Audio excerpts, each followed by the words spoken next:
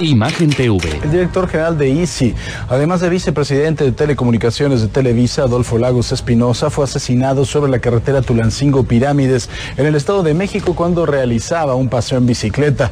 Un intento de asalto es la principal línea de investigación que sigue la Fiscalía Mexiquense. Grupo Televisa, propietario de la cablera, lamentó lo sucedido y expresó sus condolencias a los familiares. El presidente Enrique Peña hizo lo propio en su cuenta de Twitter, condenó el asesinato de Adolfo Lagos y manifestó sus condolencias. Dijo que la PGR va a colaborar en la investigación con la Fiscalía del Estado de México para detener a los responsables.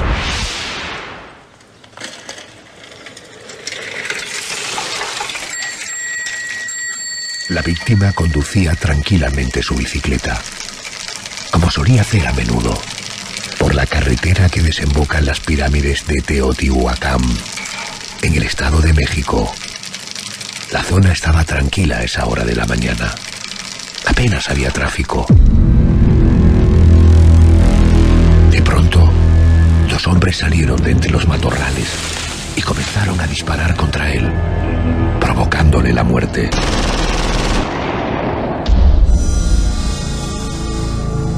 Aunque la principal hipótesis barajada es la del robo, aún no hay nada claro teniendo en cuenta que los maleantes no se llevaron su dinero ni su bicicleta y que atacaron sabiendo que el fallecido iba acompañado por dos hombres.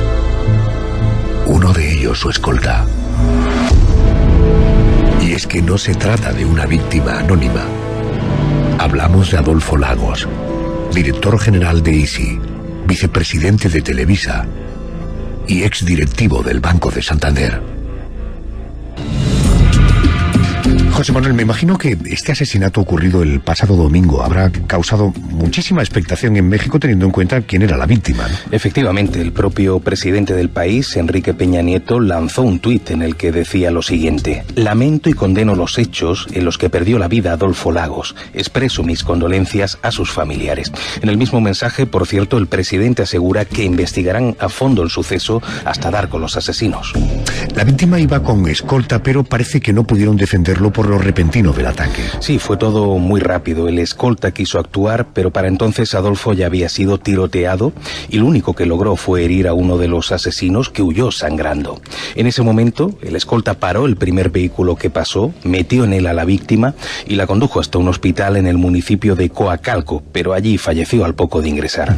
El Lagos era, como hemos señalado, alguien muy conocido en México, ¿verdad? Bastante. Este hombre tenía 69 años, había sido exdirectivo de Santander era sobrino del banquero mexicano Enrique Espinosa Iglesias y desde el año 2013 ocupaba el cargo de vicepresidente corporativo de telecomunicaciones de Televisa.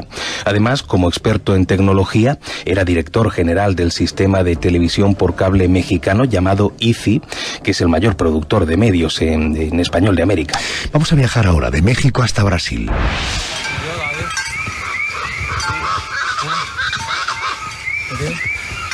Su nombre real era Vicente Cañas, pero le llamaban Kiuxi.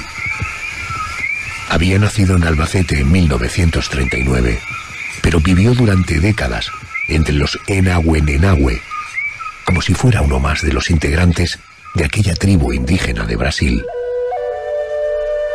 Era un misionero jesuita, un defensor de las tierras indígenas, destinado a Latinoamérica en 1966. Allí luchó contra los hacendados que querían apropiarse de los terrenos de los indios.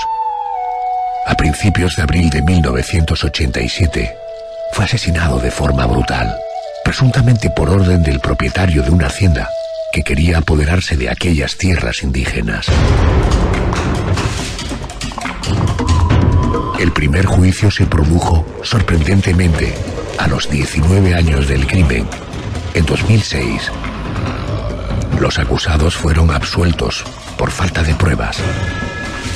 Ahora, el gobierno de Brasil ha decidido reabrir el caso y juzgar el próximo miércoles al único superviviente de los acusados por un asesinato ocurrido hace tres décadas.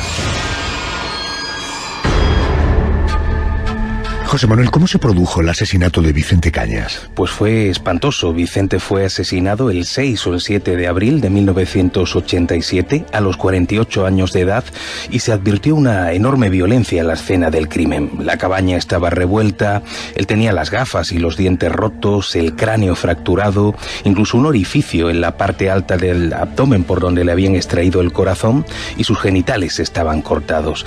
Los asesinos habían arrastrado su cuerpo fuera de la cabaña seguramente con la intención de que fuera devorado por los animales y así destruir las pruebas. Pero eso no ocurrió y fue encontrado a los 40 días completamente momificado. Vicente era tan querido por el pueblo indígena que sus integrantes lo enterraron tal y como lo hacían con sus familiares. Tumbado en su hamaca, en un hoyo excavado a cuatro metros donde había sido encontrado el cadáver. Pero desde el principio se sospechó de los hacendados de la región, ¿verdad? Sí, porque ellos no aceptaban que Vicente defendiera la demarcación del territorio tradicional indígena, una demarcación que por cierto se hizo oficial después del asesinato, de algo sirvió. Las sospechas recayeron sobre Pedro Chiquetti, ya fallecido, que era el propietario de la hacienda londrina, aunque el crimen no lo habría cometido él, sino tres personas a las que habría contratado. Y curiosamente esas tres personas fueron posteriormente asesinadas se buscaba con ello que no pudiera nunca esclarecerse el caso. Si el hacendado murió, si los asesinos fueron a su vez asesinados, ¿a quién se pretende juzgar? En este caso, al único sospechoso vivo de participar en el asesinato. Se trata de Ronaldo Antonio Osmar, comisario de policía de la zona en aquel momento y el encargado de investigar el crimen. Este hombre fue absuelto en 2006, pero el Ministerio Federal recurrió argumentando que se habían ocultado pruebas. Por ejemplo, el cráneo de Vicente Cañas desapareció de manera misteriosa, aunque fue encontrado tiempo después de dentro de una caja en una estación de autobuses de Belo Horizonte. Se cree que el hacendado, Pedro Chiquetti, le pagó para que escondiese pruebas y para que ralentizara la investigación.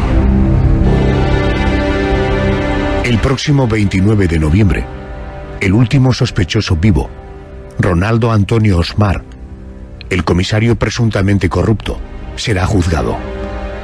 El recurso presentado por el Ministerio fue aceptado en 2015 y ahora se llevará a cabo el nuevo juicio, algo que ha alegrado al pueblo brasileño, ya que la causa de Vicente Cañas, la causa de Kiuxi, es la de todos los que defienden en la actualidad y con sus vidas los derechos humanos de los indígenas y la necesidad de preservar la Amazonia.